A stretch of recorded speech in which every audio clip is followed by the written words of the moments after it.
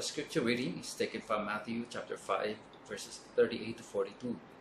You have heard that it is said, eye for eye and tooth for tooth, but I tell you, do not resist an evil person. If anyone slaps you on the right cheek, turn to them the other cheek also.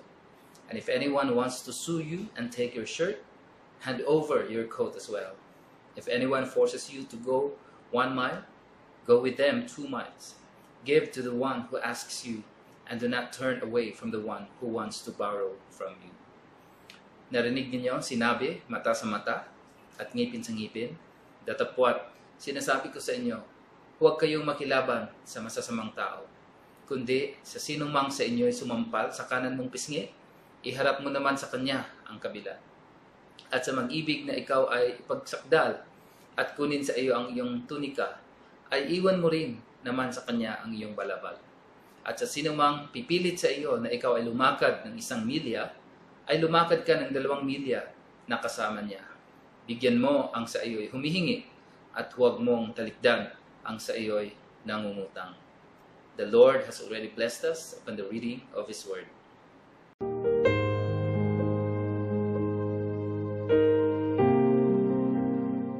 Magandang umaga mga kapatid ko kay Kristo. Tayo ay sumusunod pa rin sa ating sermon series na ating pinamagatang Sermon on the Mount. Habang lumalalim po tayo sa ating pag-aaral sa salita ng Diyos in the area of righteousness, I pray that the Holy Spirit will continue to convict us and empower us on this powerful teaching of true righteous, righteousness. And we know that this is never achievable by anyone without the power of Him who required it from us. In the previous lesson, we understood that in the eyes of God, murder was already committed the moment you hated your brother or sister. And also adultery is already committed in the heart the moment anyone looks at a woman lustfully. And that marriage is not ended even though a man gives a divorce certificate to his wife. Because in the eyes of God, marriage or marriage vows are binding. And last Sunday, we also understood the power of a released word. And Jesus taught us that oaths are sacred to God. That is why we should not even swear an oath at all. So righteousness in this aspect is about integrity in our word. At sa araw na ito, we will learn the fifth area on how to embrace true righteousness. And I believe ito din ay isang mahirap na pagsasalarawan ni Jesus sa katwiran ng Diyos. Because it talks about how we respond to those who do evil to us. That we should refuse to retaliate. So our message today is entitled Refusing Retaliation. But then again, over the generations, katulad ng kanilang mga common misinterpretation sa mga katuruan o kautusan ng Diyos, ito din ay lalo nilang hindi rin naintindihan. Kung ating balikan mga kapatid, God gave three sets of laws for His people, Israel, so that they may live right and in harmony within the community of God. They are the moral laws, the civil laws, and the ceremonial laws. So the moral laws or the Ten Commandments are the overarching, the highest category of, of laws. In fact, they are the basis from which the ceremonial laws and the civil laws originated. The priests are to take care of the ceremonial laws so that there will be order in the temple court of God, while the judges are to take care of the civil laws so that Israel would live in the community with harmony. Now, there are many details under the civil laws, and we even find words or the phrase eye for an eye and a tooth for a tooth. Marahil para sa iba, sa atin, napaka-strange ang kautusang ito. But yes, the purpose of this was actually used for the judges in solving the civil cases brought before them to exact retribution in a fair and right way, and should only be meant to provide limited punishment and never for use of for any private citizen. And this should lead us to a problem because human nature desires retaliation. Kaya hindi po yun pwedeng gamitin para sa individual na gustong uh, mag-retaliate sa nagkasala sa kanya o nakasakit sa kanya. Kasi kung ganti ang pag-uusapan mga kapatid, it is our nature na di po yun sinusukat. That is why retaliation is never encouraged in the Bible. When you retaliate, you don't think rightly anymore.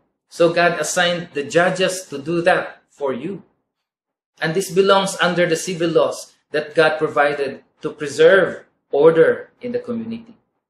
The eye for an eye or tooth for a tooth is both technical and literal term para masukat ng tama na tama lang din ang kabayaran sa mga offense sa isang tao, ng isang tao. You know, sa ibang lugar, kung ganti ang pag-uusapan, marahil dito rin sa Pilipinas, ubusan po ng lahi. And I think this problem is being rooted in our being too much conscious of our rights sa ating mga karapatan. Palagi silang masagi lang or maaapakan lang ng konti ang kanilang karapatan o maaalman. You know? You know? Today, we live in a time na nilagay ng tao ang kanyang karapatan sa isang pedestal. To the extent that kung mga liberals ang patuturuin mo sa Bible, they would accuse God of violating human rights when He commanded the Israelites to kill their enemies as they move and advance toward the promised land. Ganun po ang pagkaintindi nila. Napakataas, napakatayog dapat ng human rights. Paano naman daw yung karapatan ng ibang bansa na nasasagaan ng Israel habang sila ay pumapasok sa kanilang uh, lupang pangako? Yung ibang tao, yung mga bata na namatay, na walang kamalay-malay. But these people, you know, they fail to teach that God has the highest right to His own creation. And today we have so many right advocates, including animal rights. Imagine. Not that this is wrong, And please don't misinterpret it. In fact, I commend people doing things like this, especially those who help yung mga inaapi, yung mga tinutulungan nila. Dahil ito ay inutos din ng Panginoon. What is, is, what is being emphasized here is that when left unchecked, our rights can become our gods. Na ating sinasamba, iniingatan, at kapag rights na ang apektado, you know, palagi tayong nagagalit. Umaalma tayo. Kaya nga, our definition of good movie is that the villain or yung mga kontrabida should suffer at the end of the movie. They should die at the end. At nagagalit tayo kung ang kontrabida ay hindi namatay. You know, some years ago, maybe 10 or 20 years ago, the director of a famous teleserye had to do a very gruesome and uh, very dramatic ending of the villain doon sa kontrabida. Kasi tingin nila, magagalit ang mga tao kung hindi nila ayusin ang ending na ito. So sa sobrang galing umarte ng kontrabida upang galitin yung mga view, viewers gabi-gabi, kailangang makaganti ng mabuti ang bida. So ang ginawa ng director, binago niya ang plot upang makitang doon sa ending, makakaladkad, masunog ang mukha, at kung ano pa ang mangyari doon sa kontrabidang ito bago mamatay. And true enough, when people were interviewed after that series, they were satisfied. And many people have this kind of spirit in them. That people began to live in the basis of their rights. Meron tayong konsepto na hindi tayo dapat magpalamang. Yes, our sense of justice are innate in us because we were made in the image of God. But you know what? In the fall of man, justice, our sense of justice became perverted into a vengeful spirit. Our sense of justice talks about destruction, talks about self-preservation, at hanggang nandyan nakikita ko ang nakaapak sa aking karapatan, di ako mapalagay. Nung hindi lang tinanggap ang offering ni Cain at ang kanyang kapatid tinanggap ng Diyos, pinatay ni Cain si Abel. More than jealousy, It is his right to be accepted that was denied. At binaling niya sa kanyang kapatid at kanya itong pinatay. Basically, that's what in the heart of, of us. Not only for the Jewish misconception of an eye for an eye and a tooth for a tooth, but that's the way that being applied in Jesus' time and also in our time today, probably. It had become a license for vengeance It had become a base, it had become a basis for vendetta. It had become a sort of biblical permission to have a grudge or to strike back. At ito ang bas basis nila in Leviticus 24. Anyone who takes the life of a human being is to be put to death. Anyone who takes the life of someone's animals must make restitution, life for life. Anyone who endures their neighbor is to be endured in the same manner. Fracture for fracture, eye for eye, tooth for tooth. The one who has inflicted the injury must suffer the same injury. Although this Mosaic law clearly advocates limited retaliation, which is also only to be handled by the judges themselves.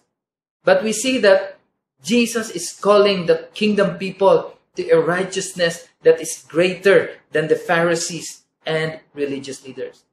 And this is our principle today that we should resist our nature to retaliate. You know, Jesus is motivating us to refuse retaliation, instead, to resist an evil person. In Matthew 5:39, but I tell you, do not resist an evil person. This teaching of Jesus is meant to motivate us to a higher and better option.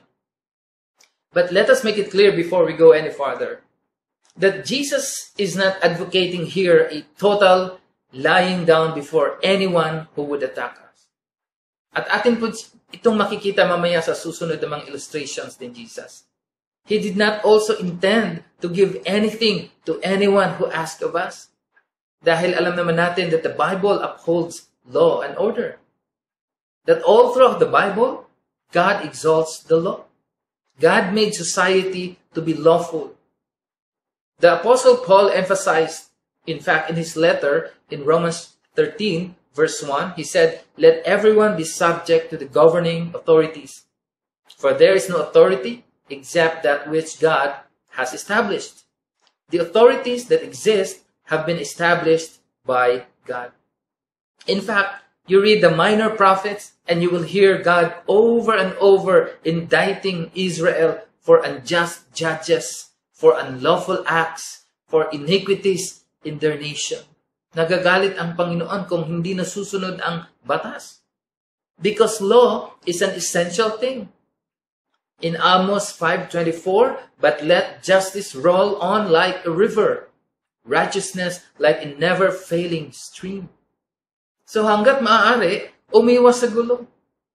In other words, we let the law do its duty to serve you justice. Yes, Jesus talks about forgiveness, but it is not to the detriment of what is lawful. Dahil meron ding instances na dahil ayaw natin sa gulo, hinahayaan na lang natin ang isang injustice to continue hanggat ito ay naging large scale at ang hirap ng ayusin. You know, there is balance here. Jesus himself resisted evil on several occasions. Sometimes by keeping silent and just walking out of the crowd, but sometimes speaking sharply based on truth to those who sought to manipulate him. Jesus doesn't teach mere passive resistance. And in the same way, we defend ourselves when in danger, for example, because this is human instinct. Kung may mang-agaw ng iyong property, you don't just give simply all your property to anyone who is suing you. God has instituted laws to protect us from such events. When somebody commits a crime against you, we just don't say, all right, and let him go or go free dahil yung taong yun ay sisirain niya ang community. It is the role of the law to do its work because that preserves society and it exalts God.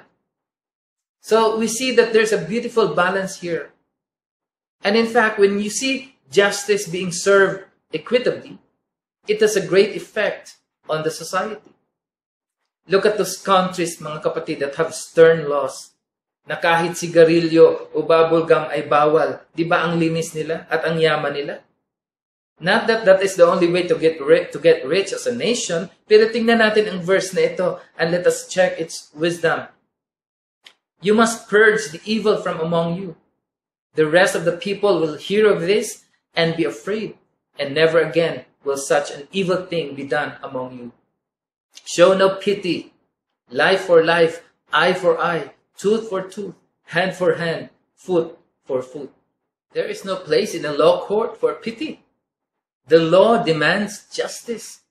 You know, if society is to be preserved, there must be justice. You free a sinful man and destructive man and give him his right back, tingnan natin kung hindi magkagulo ang isang komunidad. Because that man will surely cause chaos. That is why in the training of our children, if there are no consequences in the behavior of our children, they will never learn what it means to live a righteous life. Before Paul was writing Romans 13, which is about respecting and being willing to submit to the law or government, he gave Romans 12 as a response on resisting evil on a personal level. And he said, Do not repay anyone evil for evil. Be careful to do what is right in the eyes of everyone. If it is possible, as far as it depends on you, live at peace with everyone. Do not take revenge, my dear friends, but leave room for God's wrath, for it is written, It is mine to avenge. I will repay, says the Lord. But kung talagang evil at hindi mapaawat ang isang tao, then let the law deal with it. Total, ang law ay galing sa Panginoon. The law itself is God's equitable answer to punish the wrongdoers. But here is another option that Jesus himself modeled for all of us. On the contrary, if your enemy is hungry, feed him. If he is thirsty, give him something to drink. In doing this, you will heap burning coals on his head. Do not be overcome by evil, but overcome evil with good. So these two works together. While allowing the law to do its duty, we also have a duty to do, which is to forgive and show forgiveness and kindness to the person who committed the crime. And this should bring us to our promise that power will come as you decide to do God's will. What Jesus would have to say in the next verses will be shocking to us as it was to his original audience 2,000 years ago. But then again, what is impossible with man is possible with God, and only through the power of his death and resurrection can all this be possible. Because only those who have been regenerated and who experience the grace of God, they have the ability to turn the other cheek when they slap, so to speak. So in Matthew 5, it says here, if anyone slaps you on the right cheek, turn to them the other cheek also. So how far can you go with this scenario here? You know, kung sinampal ka sa isang kanang, sa iyong kanang pisngi, assuming na right-handed ang nagsampal sa iyo, ibig sabihin po, sinampal ka sa talikuran ng iyong kamay. No? Hindi po sa harap. In the ancient world, this type of slap was more of an insult and offense than doing so with the palm of one's hand. It is only the most demeaning, contemptuous, and arrogant person will slap you with the back of his hand. In fact, in the Roman world and context, a slave would rather receive a whip or yung latay, latigo, than to receive a slap with the back of his master's hand. Because that means you do not have dignity. In other words, when your dignity is taken away, when you are dishonored, when you are arrogantly humiliated, let him do it again. Turn the other cheek. That's what it means. Be slapped again before you would ever think to retaliate. You know, hindi man tayo sampalin ng ganon in real life in order to be insulted, pero nangyayari po ito sa ibang kaparaanan. With words, slander, gossip, and many more. So Jesus wants us free from resentment and bitterness. So that kung na-insulto man tayo, meron pang lugar sa isang sa pisngi natin, sa isang pisngi upang pwede pa tayong sampalin. May lugar pa sa ating puso na isang manam, mananampalataya na mainsulto pa o mahiya pa o makutya pa. Gagawin man ito pa ulit-ulit. When Jesus was teaching this, he was actually looking forward to the day when he would be called horrible names. Remember, he was called working for Beelzebul after he drove out the evil spirit of a man who was blind and mute. And then people mocked him, insulted him, and on his crucifixion day, People spat upon him. They bound him and shamed him in front of many people. Yet Jesus possessed complete control of himself with ultimate dignity and did not respond to retaliation. Instead, his words were, Father, forgive them, for they do not know what they are doing. So what's in the other cheek that we cannot give? When the same Holy Spirit who is in Jesus Christ is the same counselor, advocate, and who is in control of us, you can surely go beyond your right cheek. And then Jesus continues to teach on the next verse. And if anyone wants to sue you and take your shirt and hand over your coat as well. In this next illustration, Jesus is teaching us how to respond to wrongful attacks on our possessions. Kung idedemanda ka over a shirt, ibibigay mo rin pati ang yung coat. Now, Jesus is not talking about large-scale items here, but he uses this illustration of a shirt, or in another translation, a tunic, a very cheap clothing that even a very poor person can have. Now, the tunic is the inner garment that a poor or a person will wear, and the outer garment, which is more expensive, is the coat, or they call it also cloak. And according to the Mosaic law in Exodus 22, verse 26, if you take your neighbor's cloak as a pledge, return it by sunset. Now, the coat is the one possession that a creditor could not legally seize from a debtor. Kung nakakautang ka at wala kang pambayad, at pwede mong isangla ang coat mo, hindi pwede itong masangla overnight. Kailangang ibalik sa kanya. When used as a collateral, it has to be returned before night. And yet, Jesus is saying that even that, if he sued you for your tunic, give your cloak. Now, this is again a radical example because in the context of Israelite or Israelite court, social responsibility is being stressed in their law. Ang sabi, because that cloak is the only covering your neighbor has. What else can they sleep in? When they cry out to me, I will hear, for I am compassionate. Kapag kinuha mo ito sa kanya, lagot ka sa Diyos. Tsak, pakikindagan ng Diyos ang kanyang sumbong sa taong tinanggalan mo ng kahit kanyang masusuot. And for us, this is our assurance that we can actually respond with confidence to anyone, even in the matters of possessions, because our hope is in the Lord. He will defend us and who will prepare us not only with things that are material, but things also that are eternal.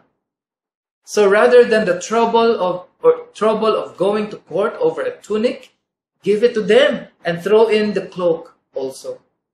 Smile at them, go home and sleep peacefully. This kind of attitude will let you sleep at night. Remember, you have so much as promised to you by the Father, and you don't trouble defending yourself over a tunic. Now, Jesus is teaching another radical response in the next verse. If anyone forces you to go one mile, go with them two miles.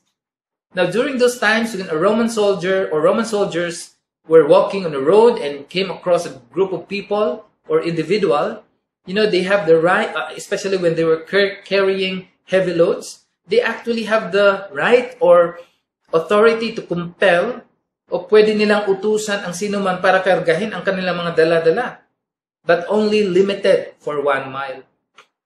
One example of this in the scripture is Simon of Cyrene.